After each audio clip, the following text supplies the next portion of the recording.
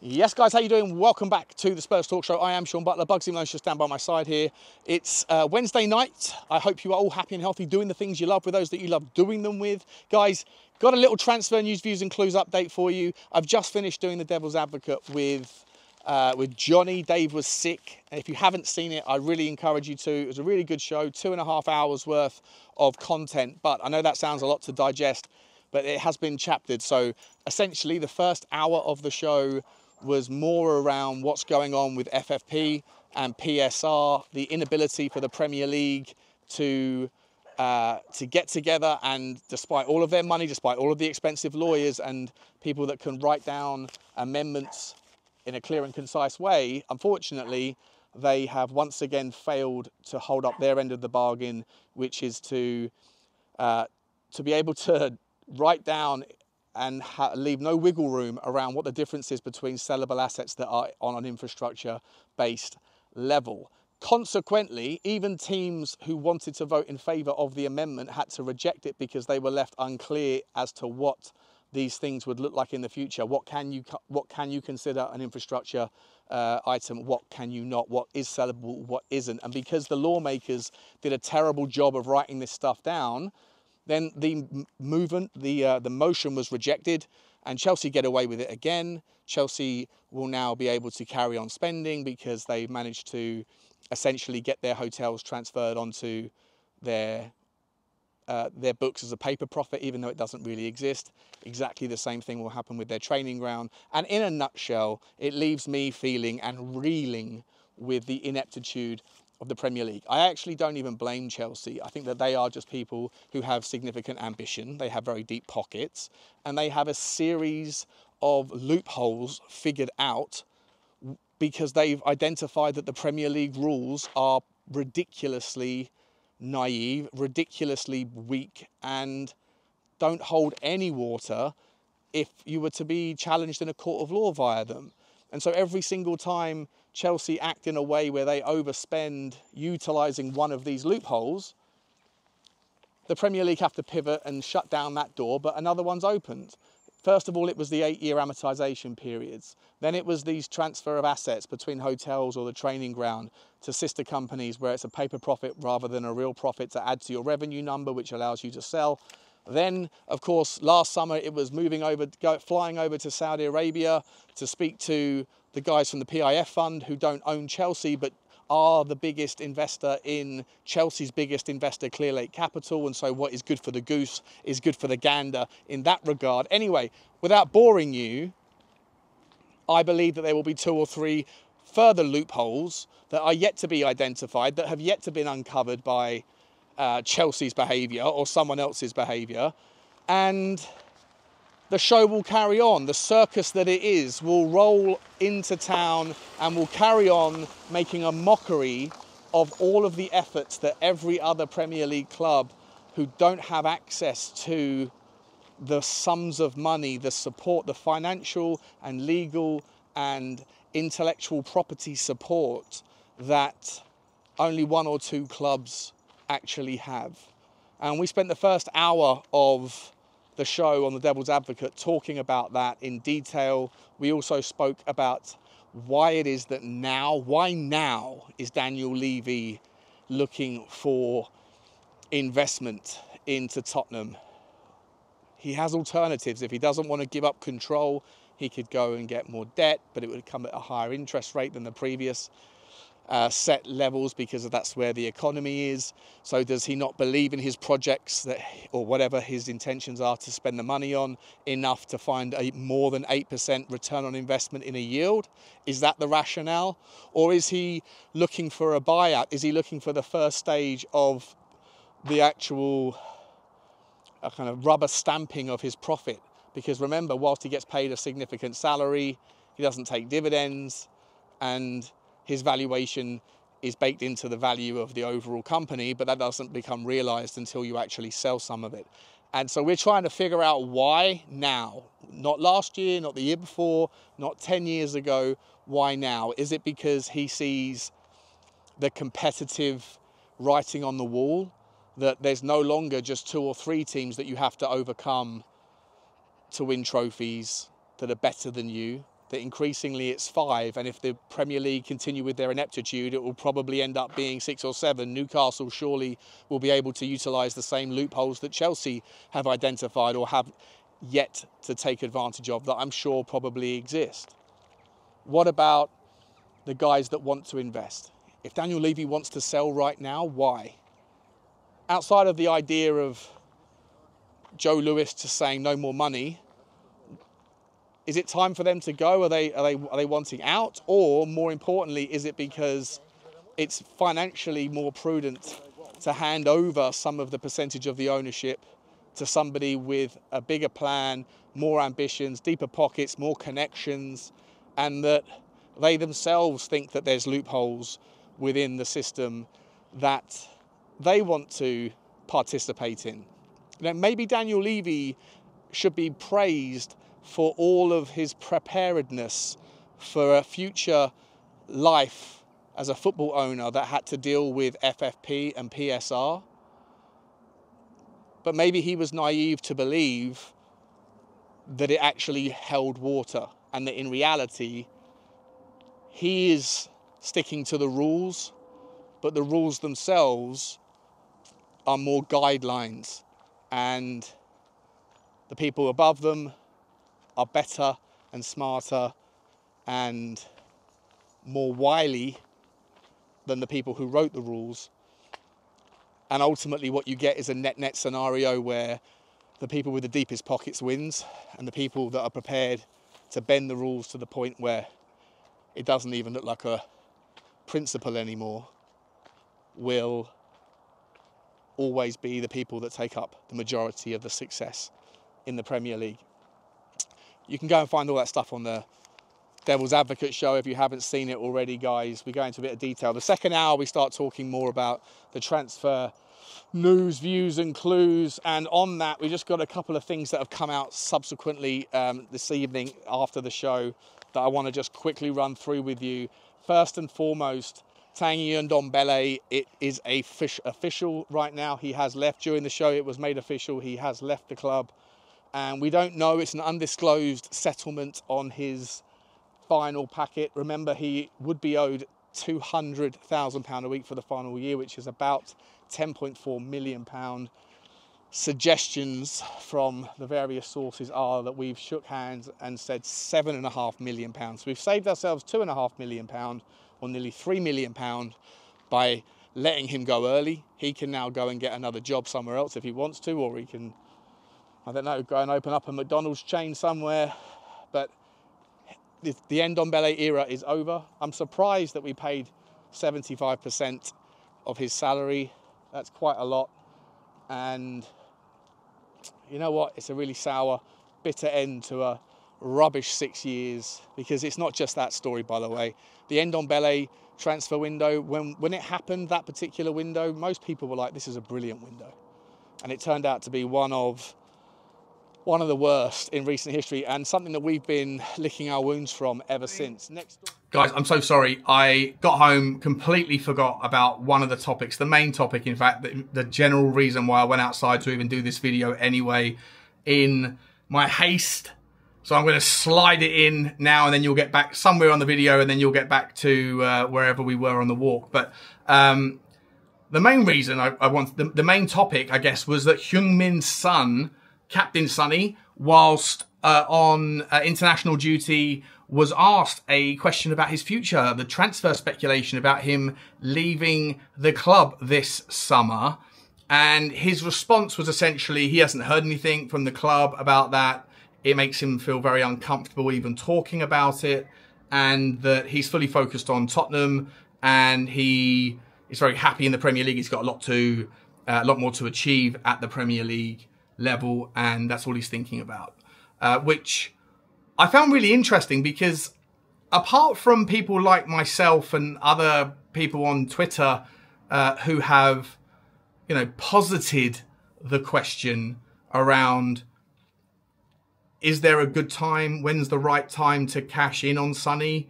You know, he's 32. His best assets are things that are going to recede over time probably doesn't suit this system in a nine back to goal as much. If there was to be a monster bid coming in from somewhere like Saudi Arabia to the tune of 80 million quid, and it was enough that it, you know, financially made sense to the football club to sacrifice what you would be losing in the kind of Korean market and the sales and everything, then would it make sense to liquidate?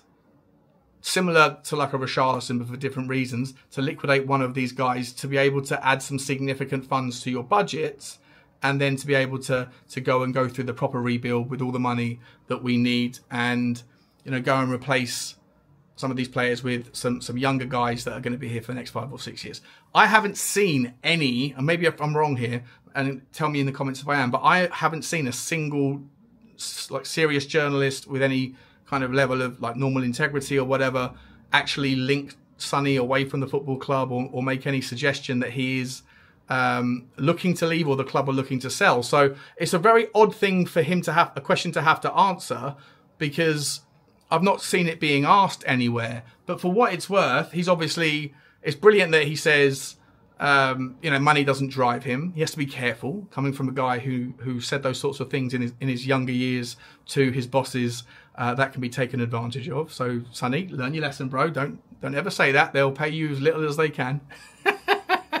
but uh, but it's interesting, you know, that he he said he, he feels uncomfortable about the whole situation. I don't know if it was news to him. I don't know if I'm missing something. But to me, on the one hand, delighted that he shows as much commitment as he does, and and he's he's he's fully Tottenham, fully Coys. Uh, and it just it reminds me, I guess, of a topic that we were speaking about, you know, a couple of uh, about a month ago on the channel, whether or not there is some validity to the idea of selling one of him or Richarlison or potentially both and then rebuilding the entire front line with some significant funds. I don't expect it to happen. Richarlison's already come out and said he's not leaving uh, England at least. He doesn't want to go to the Saudi Arabian League. I'm sure Sonny doesn't want to go to Saudi either. I don't know where else he would go that would pay the sort of money that would justify the cost for, and because of the opportunity cost of giving up the, the Korean revenue streams.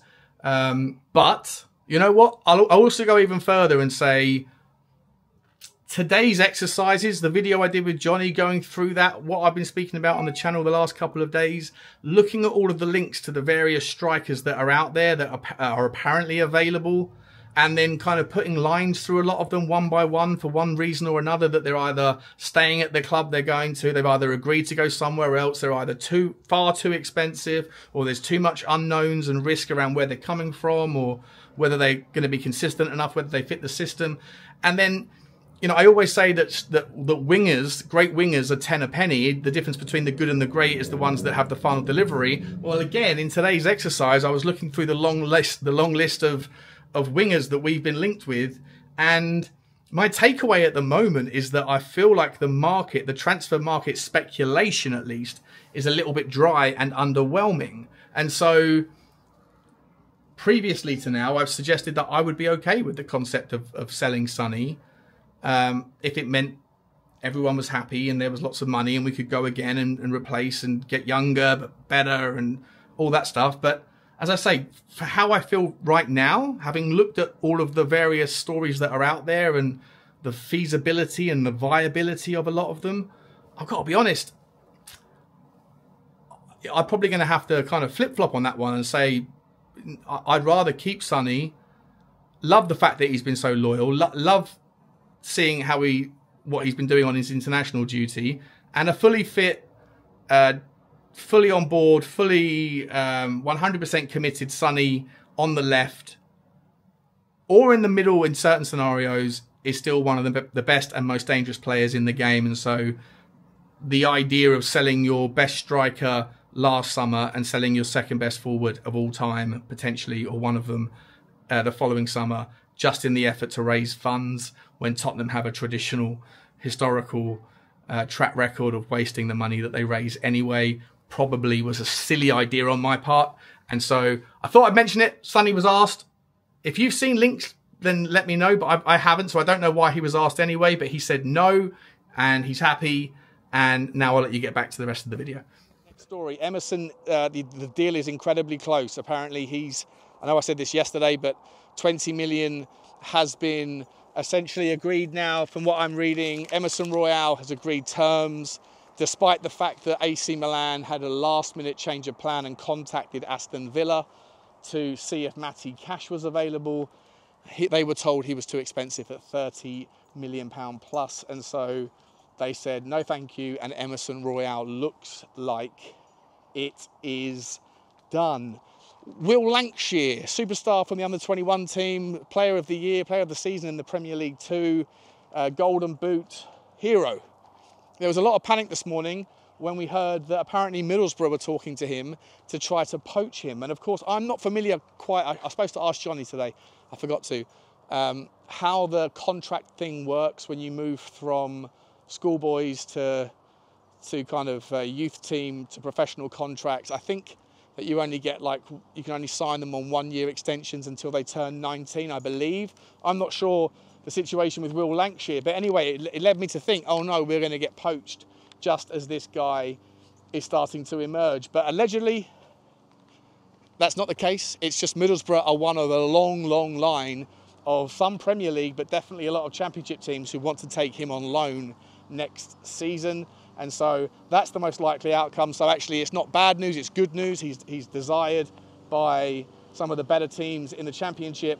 And hopefully, he'll get some minutes, some goals, and come back ready. And that would be fantastic. That would be sensational to see uh, Will Lankshear develop into, I don't know, what might be the next Harry Kane. Who knows? Dare I put that pressure on him? But you know what? He's a big, strapping, strong lad, and I think he'll be able to handle the championship if that's where he goes. Vanderson, story I've been talking about to you for the last couple of days. That story is still on, allegedly. However, Manchester United have entered the phrase. A lot of the players that we're linked with at the moment, we seem to be fighting with the same teams Aston Villa, Manchester United, and Arsenal. Uh, all teams in the Premier League. Bayern Munich, maybe for Chris Führich, but the same names with Eze. He's we're, we're fighting with those guys for him. Um, and Vanderson's the same. So at least we know we're all kind of fishing in a similar pool, and we'll see who has the financial muscle, who has the ability to move first. You'd hope that would be Tottenham on both counts. Who has the bigger brand and the bigger pull? Well, that might be a different situation. But Vanderson is wanted by both Manchester United and Tottenham. But you know what's really interesting, guys, is that according to De Telegraaf, the Dutch, the Daily Telegraph, I guess, um, which is a, a, decent outlet. It's not like a, a, rag top, it's the Telegraph, essentially. But in Holland, they're saying that Tottenham are very much interested and pushing for Geertruida. And if you did watch the show with Johnny, then you'll know that we spend a lot of time talking about Geertruida. Johnny's a massive fan of him. I'm a huge fan of him. Uh, we've both spoken about him for over a year. His versatility is excellent. His drive, his passion, his pace, his ability on the ball. He he understands how to be a centre back because he's played 20% of his minutes at a centre back, so he's good in the air. He knows positional play, back post work. He he knows how to, to, to, to um, handle people that are dribbling at him from, from, from the wide. He's also played at right back, so you know he can get forward in the system that he plays in in Feyenoord. He also can play as a, as a DM. Now, I'm not making the argument that we should get a versatile player to be our six. I don't. I think we need a six. But the, the strength of versatility essentially describes the strength of a player and his ability to do and to tick most boxes. If he can play a six, a wing back, a fullback, and a centre back, then rest assured he's going to be good in the air, he's going to be good at tackling, he's going to be able to have a good footballing IQ, he's going to have a great vision for a pass, he'll be calm under pressure, and he should be brave and tenacious and also have an engine on him because fullbacks need engines just like Bugsy needs bones. Uh, so that's the story. It's interesting. Now, I said to you the other day, do I prefer Vanderson or uh, Archie Gray? Well, depends on the price. And Archie Gray at 50 million is too rich for my blood. I don't think we have enough money to be able to make that work and do everything else we need. Vanderson at 30, I thought was too expensive, but Vanderson at 25, 22, that sounds interesting. But Geertruida is somewhere between 25 and 28, and I actually think I'd rather pay a little bit more for Geertruida than I would Vanderson. And the Telegraph are saying that that uh, is very much up for it. And also, but Feyenoord are very much willing to cash in. So there's willingness, according if the report's true, there's willingness on all sides, the seller, the player, the agent, to get in, to get on board and to come to the Premier League. And whether or not other teams are going to be interested in Geertruida as well, probably wouldn't surprise you if I was to tell you that Manchester United are looking at him, as are Chelsea, as are Liverpool. And so, again, you know, it comes down to not just money, it comes down to uh, the, the sales pitch, it comes down to how much opportunity they're going to get, and it comes down to a few other kind of internal monologue things that only Geertruida is going to be able to tell you, but we'll figure it out. But either way, it's an interesting link, great player, and if it works out, it's fantastic. Tammy Abrahams, I talked to you about him yesterday. That story's grown some legs today. Listen, as much as I do like Tammy Abrahams, I don't fancy the player coming to Tottenham. As I said, I think that if you're going to move for a nine, it has to be someone who moves the needle. And I just, Tammy Abrahams is a good player when he's fit, but he spent most of last year out with a horrible injury. It's too much risk. Eight games last year, one goal, not for me. 30 million pound is the asking price. Sorry, even at that level, I just don't see it until he's proven that he's back to his best. Not for me, so I'm I'm off it. Ivan Toney, well, apparently, according to Ben Jacobs, Tottenham have got a free run at this guy if we want him. Arsenal are no longer officially interested. Chelsea are moving in a different direction, and so he wants to stay in London. If Tottenham put their money up and go for it, then he's the guy. And 40 million pound. I know a lot of you disagree, but I don't mind it at all. Santiago Gimenez. We haven't heard much out of this one for a while. I still like him, still a big fan of Jimenez, but there is risk. There's massive risk. We don't know about the transition from the Dutch league to the Premier League. We don't really know why it is that his season tailed off as bad as it did. But as a player, I think he's a really, really strong candidate. I've said to you from, for a year now that when I first watched him and nothing's changed, when I see him come deep and drive with the ball, he reminds me of Harry Kane. He's always looking up. He has the ability to pop the ball long, loopy kind of through balls with the outside of his peg or the outside of his foot. reminds me very much of the Kane Sonny partnership, and I think you might be able to recreate something between those two in the future. So I'm a big fan of Gimenez, but it comes with risk. It also comes with a very similar to Toney, and on the balance, I'd probably say on that basis, if we're looking for a here and now, because Toney's 29, and I know that Levy will probably say I'd rather Gimenez because there's sell on value. I don't know. Either or, and I'm, I'm okay. The vast majority, you can just put a line through them. It's only the, the ones that stand out to me that are that are feasible, plausible, financially affordable, and that we hear about is Ivan Toney and Gimenez.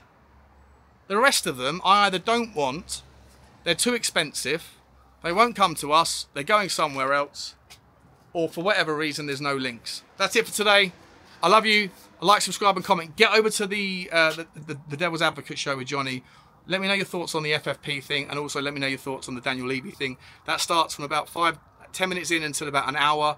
The second half, so about 30 minutes until the hour mark, I think is about Daniel Levy and selling the club and why now, why the investment now, what's going on, why would MSP want to get in just as he wants to get out? There's a difference in timing. Is there going to be a power shuffle, power split? What's going on there? But the first half of the first half an hour is more around just how incompetent FFP rule makers are and the enforcers are and really what that means for Tottenham and all the other teams that abide by the rules and that have been pushing towards a system that was supposed to reward that kind of behavior, but thus far hasn't seemed to have any teeth unless it's against the small teams who, you know, can hardly be blamed for for falling foul by a couple of million because, you know, to those guys, a million here and a million there is meaningful and it can be influenced by just a couple of bad attendances that are lower than expected.